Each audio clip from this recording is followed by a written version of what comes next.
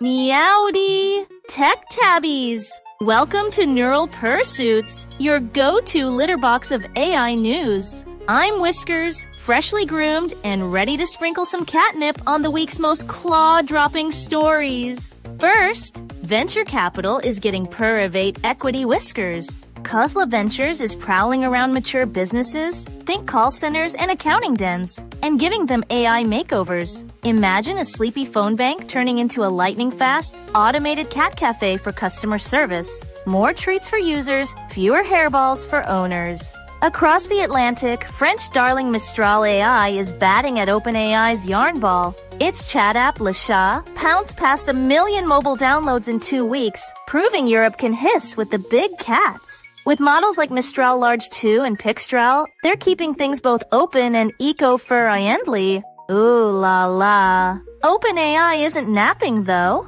Operator, its task tackling agent, just got a swanky upgrade to an O3 based brain. Sharper claws for reasoning, plus extra safety fluff means stronger, smarter fetch quests for your digital errands. Finally, Microsoft unleashed Aurora, an AI weather model that can sniff out typhoons, sandstorms, and smog faster than you can say catastrophe. Trained on a million hours of sky watching data, it dishes up forecasts in seconds and is already padding into MSN weather. If today's stories made your whiskers twitch, paw that like button, scratch the subscribe bell, and share with your fellow felines. Until our next Purrcast, this is Whiskers signing off.